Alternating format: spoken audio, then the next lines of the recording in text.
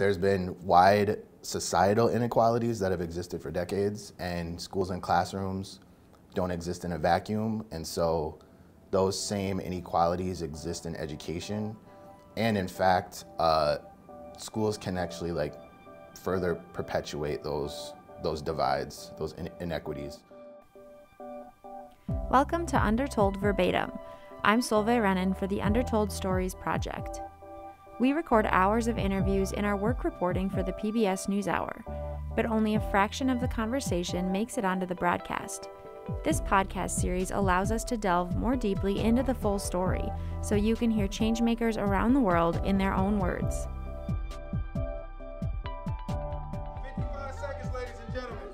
See, I knew I made a mistake somewhere because this was it right here, and this is seven. This is plus seven. That's 21. You'd only need a few minutes as a fly on the wall in Mr. White's classroom to see how much his students appreciate him. You looked like you were having a lot of fun today. Yes, I was. Thetis White's class is diverse, filled with students from different races and backgrounds who are all taught by a black man. That's not uncommon at Monroe Elementary in Brooklyn Park, a diverse suburb of Minneapolis. But it is rare in Minnesota as a whole, where fewer than 1% of teachers are black men. Our correspondent Fred de Sam Lazaro reported on education disparities for the PBS NewsHour last year. Experts say the low number of teachers of color contributes to wide educational disparities in Minnesota. The state has historically ranked near the top in test scores and graduation rates, but those numbers mask wide differences between white and, in particular, black students. Here's Mr. White himself on why he became an educator. Are there, are there students in your class whose experience you look at and say, that was me, and I'm going to do something different than the way I was taught? Uh, yes, um, that is. When you bringing that up, um, that is very. I often keep that in the back of my mind. Um, I actually even share those experiences with my students because I try to let them know that I'm going to be that different teacher that gets them to going in the right direction to love and education. Um, a lot of the times when I was growing up, you know, I didn't have teachers that were very personable. Uh, you know, it was like a you had you had a, you had something to do and you had to get it done without I almost want to say without any emotion behind it. Um, they just showed up. Now, not all my teachers were like that, but for the most part, that's how they were. They just didn't. Um, I want to say they didn't even sometimes look into your background of your community and where you came from. It was just um, not understanding a lot of culture. And you've resolved, and the reason you're even teaching, you say, is to do something differently. Yes. How, give us an example um, from your day to day routine that illustrates this point of being sensitive to where a child comes from. Uh, I think number one is telling them not only that you care, but you love them. Um, that makes a big difference. Um, and, and especially being able to show it too. Um, emotionally, uh, confidently, you just see the change in the student. They will do more or try even harder because you are showing them that you actually really do care. Um, I do worry about some of my students at the when they go home. You know, I, I'm only in control of their school day, and what I try to do is in, in uh, make sure that the environment here is safe, uh, welcoming, warming, but also again going back to that love, like they feel the love and they actually want to come back. Can you tell us a little bit about your own background and what led you to become a teacher? Where should I start? um, my story is a little bit different. Um, I say because, you know, I, I coach high school football and youth football for over 15 years. And one of the biggest downfalls for me coaching was um, I would see students that had a lot of potential, especially, you know, with what they're doing, especially playing football. But a lot of them were not, they just weren't cutting it in the classroom. Um, I have had many students that were probably be considered maybe a Division One athlete or maybe even a top Division Two athlete, but they just never had the grades to get to where they where they want to go, um, and also, you know, witnessing some of your students that you've coached growing up, you know, not even live past 21 just because of what happens in the street. Um, that was a big deal for me. Um, I just kind of got tired of watching it. Um, you know, even raising my own children, thinking about like how I could set a better example for them as well.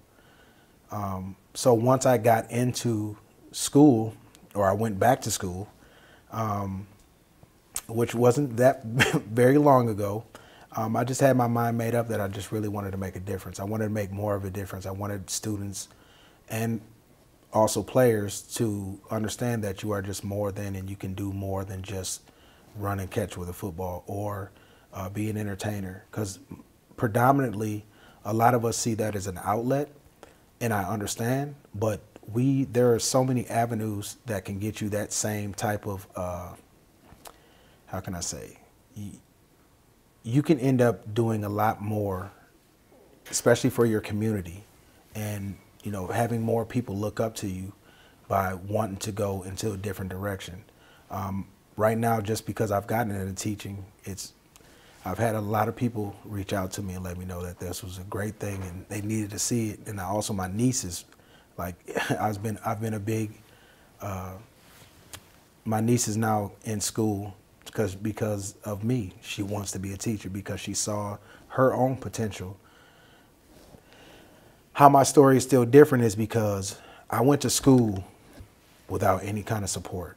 Um, what I mean by that is, you know, it was a choice that I made. I just I just felt that I needed to do something more than just be a football coach and working at UPS. Um, now UPS did me a real solid by helping me with my tuition reimbursement, which was awesome. But it also, you know, puts some type of stability and made sure because I worked overnights too, and so when when I let people know that I worked overnights for seven years while going to school and still maintained a 3.63 GPA as an adult, that like that is a, a very big accomplishment. And, and you were a father as well? Yes, father of three. And that was another thing, just being able to my son, he you know, he he took off once he saw that, oh wow, my dad is going back to school and he's not only going back to school, but he barely even sleeps. and so he noticed that. Uh, my daughter as well, you know, now she's she can ask those questions because she's the youngest, um, especially when it comes to being in school. Like, Dad, what was it like? What I can't wait to go to college now versus you know not being able to have that conversation with your with your with your with your children. You know, that is a huge deal. You know, how do you do? You, do you think that there are ways in which children of color, but particularly black children, you know, are shortchanged by this system, and in, in how does that how does that manifest itself? Well, I think the only reason why they're shortchanged is because they just don't have anyone to relate to a lot of the time. Um, you know, and it's no disrespect to any other teacher because I, I, I understand that we do have a lot of teachers that are, you know, that are understanding, but they just don't have that experience of being where I come from. And what I mean by where I come from, uh, low income, um, not having the exposure to reading books, um, not even having a library card. You know, when you don't have those things, that can that's a big difference. Why is it difficult to get people to teach, in particular, to get um, teachers like yourself, who is an African American and think, male? I think the biggest reason is just the experience that they've had going through school. When you don't, you know, especially in Minnesota. Um, you know, I grew up in Minnesota. I had I had some very impactful teachers. I'm not I can't black, white, but the one when I say that though, I didn't have my first black teacher until I was in seventh grade. Didn't have my second black teacher until I was in ninth grade. Didn't get my third my third black or African American teacher until I was a junior in high school. So all through my education, I had three teachers of color. Um, that that experience is it sums it up itself. If you don't have anyone that's especially telling you that you can be a teacher and only telling you that, oh, well, you'll be good in workshop. You know, unfortunately, that's was a lot of the feedback that I got. I didn't have anything other than that. Um, I was I was pretty decent in sports, so I did have that to fall on. But again, when I went to college for the first time in Hibbing, Minnesota, there was nobody up there to help me honestly. And of course, I failed miserably. To myself, my fault. To myself, I was just young, didn't understand, and of course, I didn't have anyone that looked like me telling me that I could be who I wanted to be at that point in time. Hibbing is an almost entirely white Iron Range town in the northern part of this state. Mm-hmm. You know, what did it mean to have African American teachers in uh, in your life? I, I, mean, I got two stories for that. Yes, um, one, my freshman English teacher, we definitely, I definitely clicked with him. He was young, um, and he was able to relate to everything I was talking about. When I say everything, he would pick up on it and be like, "Hey, are we supposed to be having that conversation in here?" Like things like that. Versus another teacher that is not of African American descent is just kind of just letting you kind of do what you got to do just because they don't want to deal with you as much. Um, when I started to really see that, and again, that when it was happening at that time, I didn't understand it. But now that I'm old enough to understand it, that's definitely the experience that I don't want for my own students. I want them to be able to have that relationship, but also um, not just for my my black students, um, not just for them. Um, my impact is also going to be affecting my white students as well. Um, they will have a positive image of what a black man is supposed to be versus them just having that experience of watching TV. Thetis White is now finishing his third year of teaching fifth grade at Monroe Elementary. After we left Mr. White's classroom, we spoke to Justin Grinnage, who never got to have a teacher like Mr. White when he was a young black student. So, like for me, um, I, I kind the impact on me was I didn't have a teacher of color my entire K 12 experience. Um, Seriously? Yeah, I didn't. In a city school? In a city school. um, I didn't have my first professor of color was sophomore year at the University of Minnesota. Grinnage is now an education professor at his alma mater. We sat down with Grinnage to hear about his experience studying race and education. So, you know, we're talking about the achievement gap between white students and, and students of color, in particular black children in this, in this state. Mm-hmm. Um, why is it, very broadly speaking, so wide in the state of Minnesota, which otherwise has such a stellar reputation? There's been wide societal inequalities that have existed for decades, and schools and classrooms don't exist in a vacuum. And so those same inequalities exist in education. And in fact, uh, schools can actually like further perpetuate those those divides, those in- inequities. Uh, uh, so large scale, um, it has to do with. So I like to use the term opportunity gap, and I know achievement gap for a lot of people signals sort of like there's test score um, gaps, but I like to look at it as an opportunity gap because it points towards systemic and historical inequities. And so there's something then called an educational debt, which points toward the fact that because there have been um, you know, inequities in, in various domains um, in society, economic inequities, housing inequities, et cetera, that uh, students are, students of color in particular, are, are put at a disadvantage because schools don't necessarily um, function to close those gaps in any meaningful ways. And so you can have a you can have a, a suburban school and an urban school. Suburban school is more highly funded um, in general.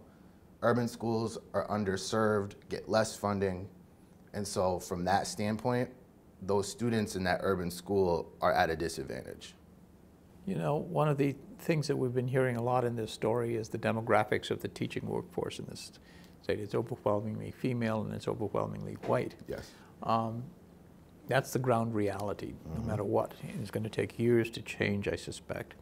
Um, do you think part of the solution or part of the deficiency is a lack of sensitization and adequate training of this teacher workforce to better understand the background of the children who present in their classrooms?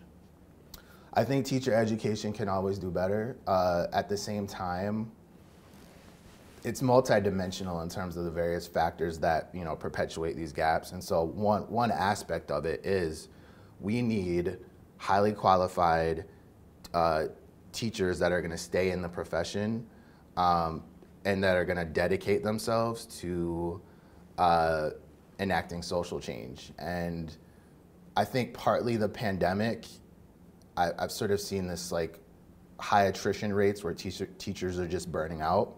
So that's a problem. But then I've also seen, I've, I've also seen this upswell where there's actually, um, you know, there's narratives going around where like teachers are heroes. Um, and I think that renewed sense that the, profession, profession of teaching is important has inspired, I think, a lot of new people to like look at that as a, as a viable field, viable career for them. We've heard said that teaching has a terrible reputation when it comes for what teachers are paid, you know, for remuneration. Is that a hindrance, do you think, especially if you're looking to diversify um, the, you know, the workforce and, you know, and bring in the most, you know, talent, make it, make it a, an aspirational profession? I think, yeah, I think it's a factor. Um, if we're looking at diversifying in terms of racially diversifying the teacher workforce. I think other factors do then come into play in addition to um, you know the, the salary, and that is the idea that uh, some students of color, if they've had bad experiences in their K through 12 schooling, um, where they actually did experience a lot of racism and they and they have kind of a negative view of school, that can actually like impact if they see themselves as a teacher or not. And so one of the reasons I wanted to become a teacher was I wanted to go right back to St. Paul and say, okay, I'm a, I'm a black man and I think I can do important work in this school district um, and be a mentor for, for um, students of color in ways I never had. Ultimately, I didn't end up in St. Paul, but I still had a, you know, a long career of teaching and I think it, I, it was a hugely valuable um, part of my life, uh, which then inspired me to get into teacher education as a professor. But I think for a lot of um, a lot of particularly new teachers of color, sometimes they'll enter into school systems and they'll experience um, racism in a way that sort of deters them from being able to stay in the teaching profession in addition to that, I think school districts are very focused on recruiting teachers of color as they should. However, I don't think there's as much attention being um, paid to retaining the teachers of color that they that they end up hiring, and so it ends up being this high turnover rate where um, districts are always trying to hire and recruit new teachers of color, but the teachers of color that are currently employed in their district are suffering and a lot of times they end up dropping out of the profession. Can you give us some examples of how teachers of color experience racism? We've heard about them experiencing loneliness, yes. being the only one frequently. But give us some examples of how this problem manifests itself in a day, in a, on a day-to-day basis in, in a typical school building. So many examples. Uh, well, I'll just draw from my own life. Mm-hmm. Um, so my first my first day on the job, um, I was hired alongside several other teachers. Um, I was the only teacher of color hired that year, however. And um, so it was like workshop week, and we were just getting ready for the new school year. Um, and there was an activity where we were doing like a gallery walk where um, there was a bunch of art all across the building um, that students created about cultural diversity. And so we were, we were walking around the school looking at the art, just meeting, meeting, I was meeting new teachers, teachers were saying hello after the summer. And then this pattern kept emerging. And I would go up to a, a, a teacher and introduce myself. Um, you know, I'm, I'm Justin, how are you? And about three or four times, they assumed I was security staff, right? And so that's very something very subtle, and it, I think it reveals a certain racial bias that um, folks may have, but it had a huge impact on me because what ended up happening was after several times, you know, when I was being called a security guard, I'm like, these people don't even think I'm a teacher. And it, it impacted my mental health uh, because I started to like say, okay, how are people perceiving me? Should I even be a teacher? And I kind of got this complex like, oh, I'm not good enough. And so that's a subtle example, but like those things can accumulate. Um, and I think that has a major impact on if teachers of color stay in, in the profession. Just establishing credibility, in other words. Absolutely. Like, well, and there's there's also sort of like the flip side of it too. So because uh, I'm a teacher of color, I was often tasked with working with with the students of color in a way where I think a lot of my white colleagues assumed that I, I was an expert at like forming relationships with them and getting them to um, not misbehave and getting them to achieve at higher levels. And I think a lot of extra stress was put on me just because um, of my ra- racial identity and the fact that I think a lot of white teachers were like, oh, he's black, he can work with the black kids. I think that happens to teachers of color where um, there's a lot of extra duties that can be put onto you because of because of that idea of your racial identity and somehow you have this magic magic wand to wave it and say, "Oh, I'm black, you're black. I'm going to be able to help you." And that's not always the case. I mean, it's more way more complex than that. Teaching is obviously way more complex than that. Right. So you represent the whole race, in other words. Yes. And you gotta take care of. But there is some truth to the fact that you are, um, and not it just doesn't apply to black blackness necessarily, depending on your ethnic group, but you are more culturally competent to understand, in many instances, the child's culture than white teachers are, if only because they've never been trained enough, right? Yes and no. I so Where do you draw that line, I guess? it's it's just it's interesting because okay, so I've I've been seeing sort of like a pattern where um, teachers of color, staff of color, will be put into positions to be like racial equity experts, um, and that is a certain training that not all staff of color or teachers of color may have received in their in their higher education experiences. And so I think the assumption sometimes is just because you're a person of color, you can understand racism better um, than white folks. And that could be true. But at the same time, if you're being asked to be a racial equity expert or a racial equity leader in the school, um, that's a very specialized training that you need to be able to be successful in, in facilitating those kinds of conversations. Um, and so I've seen I've seen this where there's been an upswell of like obviously there's been an upswell and a focus and a focus on racial equity in the aftermath of um, George Floyd, which absolutely should be the case. Um, we need more racial equity training um, in our teaching staffs. But I think that um, because teachers of color and staff of color are often put in those leadership roles, if they don't have the, that kind of training, that can then additionally put extra stress on them um, because that, that work is really hard. Are there other examples that you can, that immediately bubble up to mind? I'm trying to understand, you know, the, the, the experience of, um, you know, teachers of color in these environments. Absolutely. Um, I'll just give an example. So, uh, Asian American teacher friend of mine, um, he told me a story about, you know, during his interview actually, where um, the the principal had basically said that we there was some problems happening behavior behavior wise with some of the Asian students in the school, and he basically said to this Asian American teacher in the interview, so you'll be able to, to deal with all those problems if we hire you here. And so something just subtle like that so immediately when the principal said that to him, he's like, "What can you say in an interview?" Obviously, he's like, "Yeah, I can, I can Help out. I can help." Um, but in the back of his head, he, he's like, "Well, what are they expecting of me? I don't know.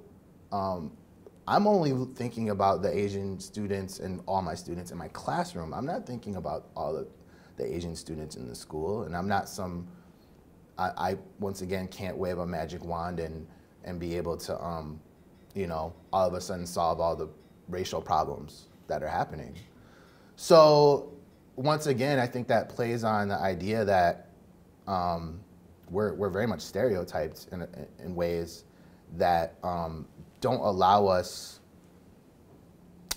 to be our authentic selves in, in schools because I think that we're always sort of like at least from my perspective, um, in the back of our mind, we're always kind of aware of how we're being perceived by our white colleagues.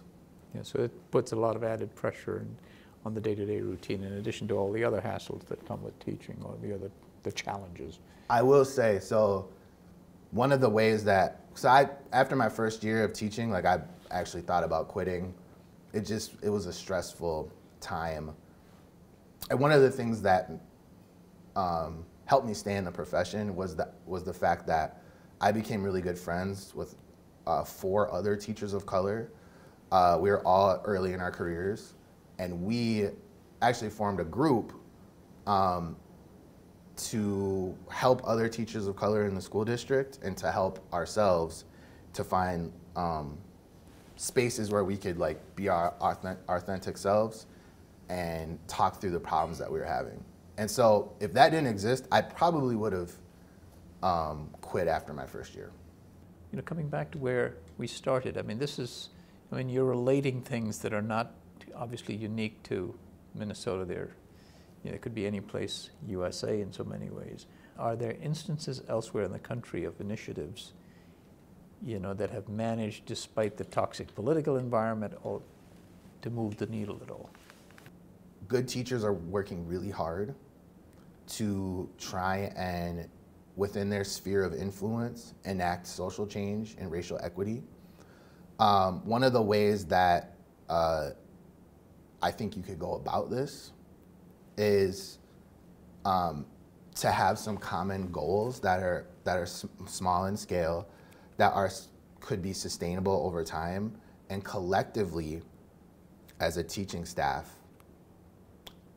find strategic ways to achieve those goals.